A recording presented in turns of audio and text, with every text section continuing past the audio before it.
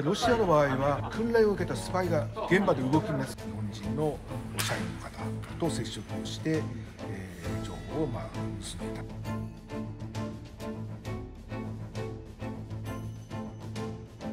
た。残業代が突出する。いつ休めるかも予定は立たない。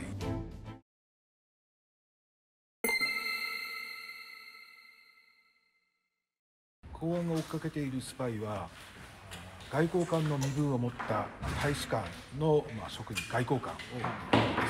そして外交官と接触した日本人が、まあ、違法に情報を提供しますので最初は外交官の身分を持ったスパイを追いかけるんですが接触した日本人をその後追いかけます。そして、えー、その後日本人が情報を手渡した時に、えー、逮捕するような、ですね。そういう順番で追っかけていきます、その時その日本人で情報を提供した側っていうのはどういう罪に問われるんですか？その渡し方内容にもよるんですが、えー、情報をまあ勝手に、えー、持ち出したということで窃盗罪あるいは横領罪、えー、場合によっては不正競争防止法という法律ですね。これらのいずれかに当たる場合が多いです、うん、これ実際どういう国籍の外交官のスパイと日本人が接触するケースっていうのを公安は追ってるんですか？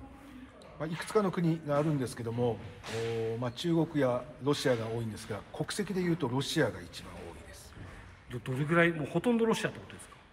はい。あの中国の場合は、えー、外交官の身分も持ったスパイが現場に出てこないんですね、うん、間に人が何人か入って、うん、その指示を受けた人が動くので、うん、えー、なかなかスパイをを追うという場面が少ないんです。で事件になったとしても、スパイが関係している事件ってなかなかならないんですね。中国の場合。でロシアの場合はロシア訓練を受けたスパイが現場で動きますの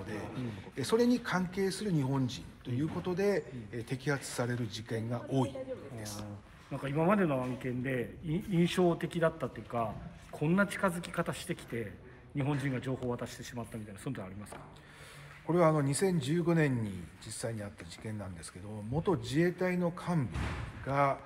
まあ、自らの虚栄心なのか、えー、仲良くなったあロシアの軍のスパイ GRU ですね。に彼に、まあ、自衛隊の内部情報教本というものなんですけどもこれを現職のもう辞めた幹部ですので現職の自衛官を使っていくつか集めて渡してしまったというのがあったですね、まあ、あんな、えー、高い地位にあったしかも日本を守る職にあった方も巧みに騙されてしまうんだなと思いました。それはちょっと想像ができないですけどどどういうことななんでそんなこと起きちゃうんですか？あのこの場合はですね、大きな報酬をもらったとかいうよりも辞めた後にも自分は自衛隊の高官であった。まだ影響力があるんだということをスパイに示したかった虚栄心だと思います。金銭目的というよりもですね、うん、自分がまだ、えー、高い地位にあった。自分はまだ影響力があるんだ。これだけ物を集められるんだというですねそういうのを見せたかったんだと思います、ちょっとこう素人考えだとそのロシアとかに日本の自衛官がロシアに情報を渡すってちょっと全然イメージが湧かないっていうかアメリカなんかわかんないですけどなんでそんなことやってしまうんだろうなと思っちゃうんですけど。これは本人の、はい、まあ、捜査での弁明なんですけどもそれほど重要な情報で思なかったと、うん、認識しているということなんですね。うん、ですから、えーまあ、捜査する側の方からすればなん今おっしゃった通りですね。なんで、えー、ロシアに、えー、情報を渡してしまうんだっていうのが、まあ、捜査側の見方ですね、うん、一方で渡してしまったその元自衛官の立場から言えばあれは大したことない情報ですと。内部情報ではあるけどもそんなに大した情報じゃないと。だから自分の影響力等を示すための手段に使っても大丈夫と本人は判断したんだと。思います。これ今あの話だとロシア中国って出ましたけどこんな国もとかってあるんですか？意外な国っていうか分かんないですけどうんあのまあ、以前以前という言い方をします。あの、全部をつかみきれてないので例えば、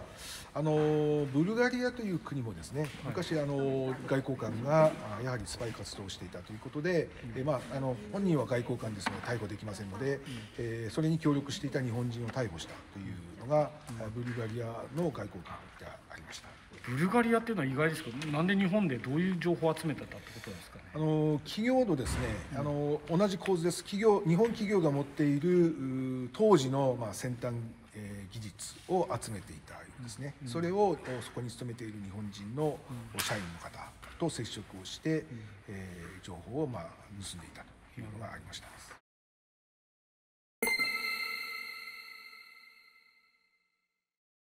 実際に公安の中です海外のスパイを追ってる人たちっていうのはどれぐらいの数がいるんですか？か数はですね、はい。まず公表されてないということと、はい。でこれは私はあの